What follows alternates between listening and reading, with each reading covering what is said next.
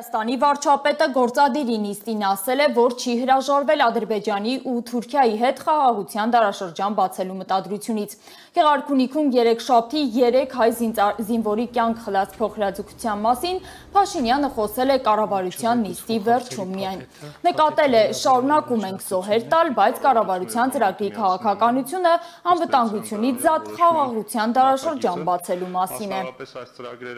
Երկու բան, բնականաբար առաջին խնդիրներից մեկը մեր երկրի պաշտպանունակությունը շարունակաբար բարձրացնելն է,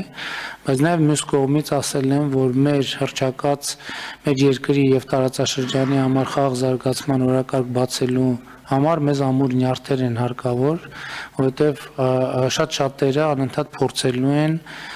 ապացուցել կամ ցույց տալ կամ մղել մեզ այն մտքի, որ դա հնարավոր չէ մենք հետևականորեն շարժվելու ենք այս ճանապարհով եւ պիտի ամեն ինչ անենք, որ เป զի մեր երկրի շուրջ ձևավորվի կայուն եւ անվտանգ միջավայր եւ սա մեր քաղաքական ամենակարևոր անելիքն է առավել եւս 2020 թվականի